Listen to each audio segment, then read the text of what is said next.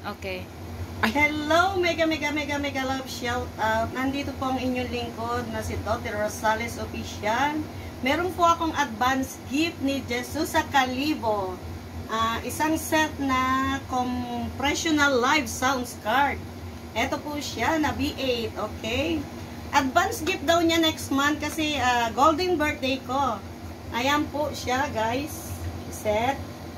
Mega mega love shout out Jesus sa Kalibo. Pakidikitan po o lablabin ang aking player na si Jesus sa Kalibo.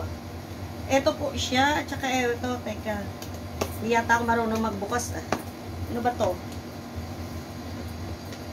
Kailangan yata kutsilyo. Nako, teka. Hindi, kuha- bukas na yan siya, mami.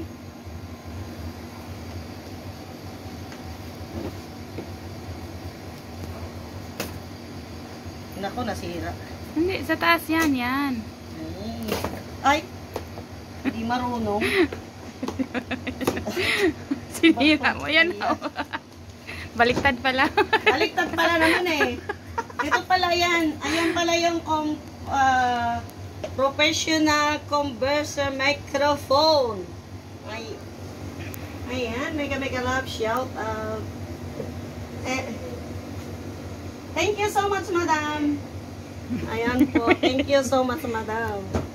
May blessing po ngayong araw na to na birthday advance gift, birthday for sa golden birthday. Ayan po, si Jesus sa Kalibo po ang nagbibideo sa akin. Buksan po natin. Ayan.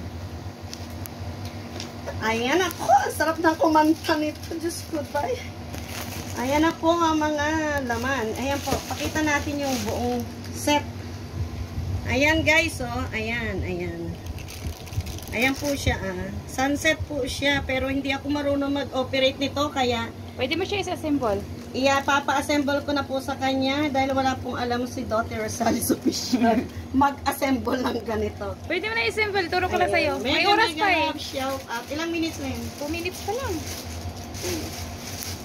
I, i- sige, isample na natin.